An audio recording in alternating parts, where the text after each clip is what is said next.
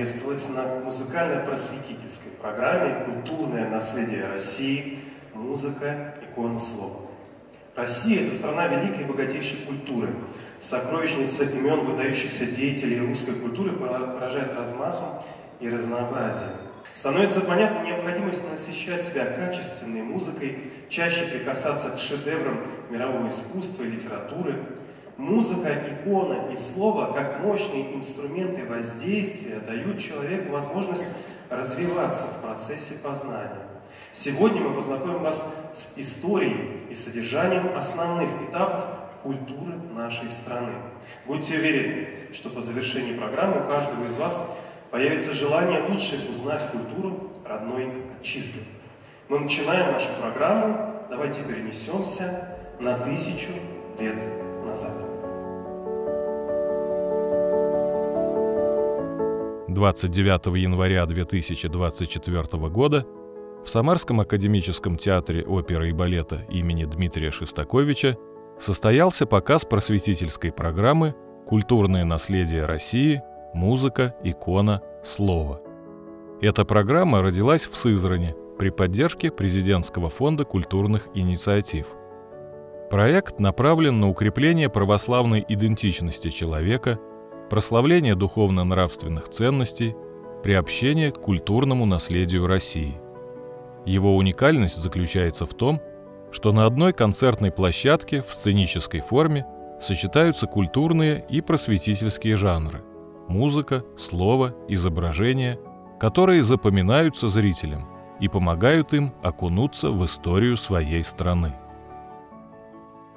В 2023 году коллективу Сызранской епархии пришла идея создать музыкально-просветительскую программу, в которой мы сможем отобразить великолепие и величину нашей отечественной культуры.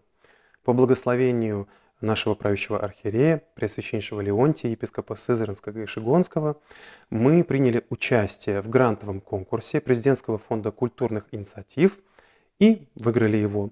И в течение 2023-2024 годов мы 8 раз показывали нашу программу в разных городах Самарской области, в том числе в Сызрани, в Тольятти, в Самаре. Профессиональное сообщество высоко оценило качество нашей программы, но очень понравилось зрителям. И мы решили принимать участие в следующем грантовом конкурсе и подать заявку, чтобы показать нашу программу не только в Самарской области, но и в других городах России.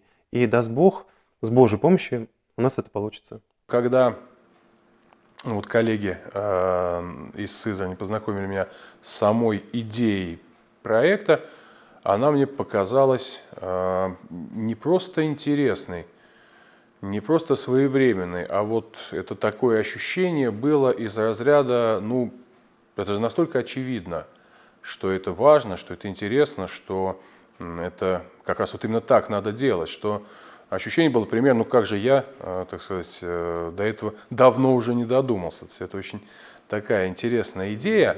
И мне кажется, вот э, просветительские мероприятия, несущие, причем такой, при всем при этом миссионерский такой заряд, очень сильный, они очень нужны, очень важны. Это миссия через красоту, через приобщение к основам, к азам, нашей отечественной культуры, тысячелетней православной культуры, э, которая выявляла, э, скажем так, специфику воспринятия э, христианства именно нашим народом, народами нашей огромной Родины.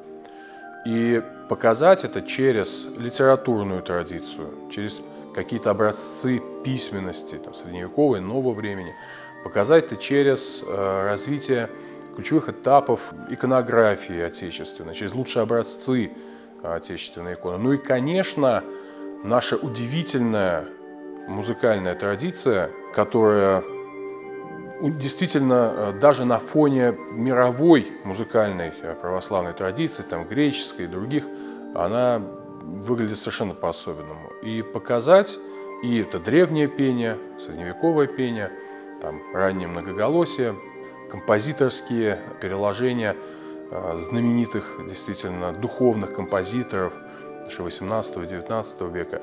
Вот объединить все это в таком культурно-просветительском событии мне показалось вот крайне своевременным, э, крайне актуальным, просветительским, таким педагогическим, скажем так, моментом, поскольку приобщение к нашей истории вот именно так, через красоту, через искусство, оно, ну, мне кажется, наиболее доходчивым является, чем через просто какой-то, пусть даже очень насыщенный, интересный, но несколько однообразный лекционный материал. Поэтому идея действительно а, просто великолепная, реализована она, как мне показалось, очень здорово. Отзывы, реакция, а, то, какие глаза мы видели у а, слушателей, у зрителей, только подтверждают наши, скажем так, соображения на эту тему. Настолько глубока эта программа, и настолько она, скажу такое слово, своевременно именно сейчас. Она важна именно сейчас для всех и для молодежи, наверное, в первую очередь. Потому что мы сейчас стоим на пороге таких событий в нашей стране и вообще во всем мире. И поэтому наше возвращение к корням – это настолько важно и глубоко, что, наверное, важнее всего этого, наверное, ну просто сейчас нет.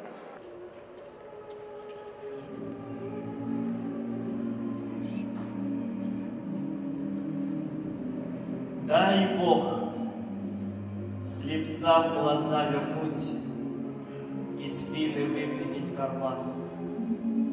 Дай Бог быть Богом хоть чуть-чуть, но быть нельзя чуть-чуть распятым. Дай Бог не вляпаться во власти, не геройствовать подложно и быть богатым но не красть. Конечно, если так возможно. Дай Бог поменьше рваных ран, когда идет большая драка. Дай Бог побольше разных стран, не потеряв своей, однако. Дай Бог жильцам замкнуть уста, глаз Божий слышит в детском крике. Дай Бог узреть Христа,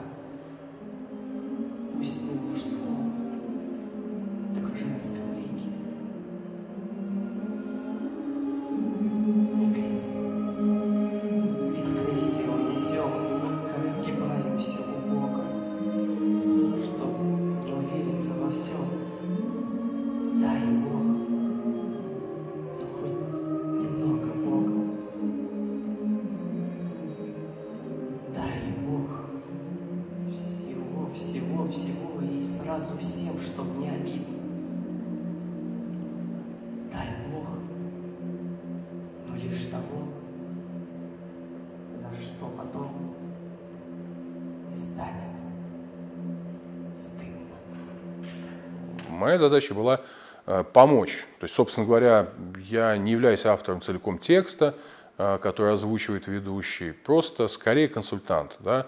Э, Как мне казалось, какие лучше моменты все-таки упомянуть, какие-то, может быть, второстепенные вещи, просто их нельзя вместить в столь краткое время, мы их отсеивали, так, чтобы сложилось ну, более или менее логичное, э, внутренне, по возможности, непротиворечивое повествование э, об этом историческом фоне, на котором, на этом фоне мы более выпукло могли бы показать, э, собственно говоря, изменения, происходившие и в иконописании, то есть да, в появлении там, э, каких-то светских, живописных моментов, э, связь, преемственность между древней иконой, между парсуной, между там, да, какими-то уже новыми веяниями, и в музыке такие же, скажем так, изменения.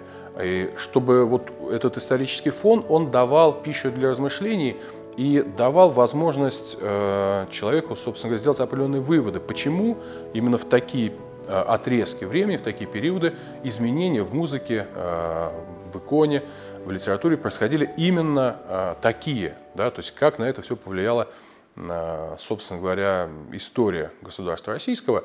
Вот таким, скажем так, историческим консультантом я в этом проекте и выступил. Этот проект, замысленный э, нашими друзьями из Сызранской епархии, показался очень интересным, когда к нам обратились за консультацией.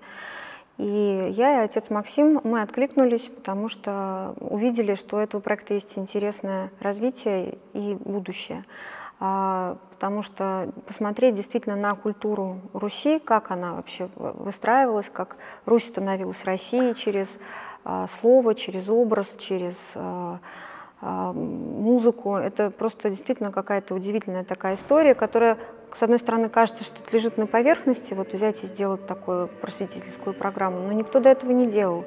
А как раз вот э, наши друзья-сызранцы, они очень здорово это придумали, а главное, что у них есть э, очень хороший для этого материал и база, потому что этот прекрасный хор, хоть и любительский, но очень искренний, очень профессионально с профессиональным регентом работающий. Подбор э, идей, вот как, как двигаться, потому что просто икона, ну, много разных икон можно было бы выбрать, и было бы тоже, наверное, хорошо, но мы как раз предложили такую идею, как раз вот э, связанную с э, образами Божьей Матери, да, и Владимирской, Казанский образ, чтобы они прозвучали, чтобы вот эти идеи во времени были так вот, ну, как некие такие опорные точки. И мне кажется, что это очень хорошо получилось. То есть вот э, э, эта часть была, так скажем, ну, я должна была их проконсультировать, и по мере сил я постаралась.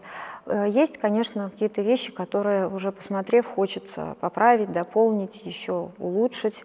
Но мне кажется, это как раз и хорошо, когда есть, возникает желание дальше продолжить с этим проектом творчески работать. Помимо областной столицы, эта культурно-просветительская программа была показана уже во многих городах Самарской области. Сызрани, Октябрьске, Чапаевске, Жигулевске, Тольятти. А 26 января 2024 года состоялся ее показ и в Москве. По приглашению Синодального отдела религиозного образования и катехизации Русской Православной Церкви участники проекта смогли выступить в храме Христа Спасителя – в рамках 32-х международных рождественских чтений.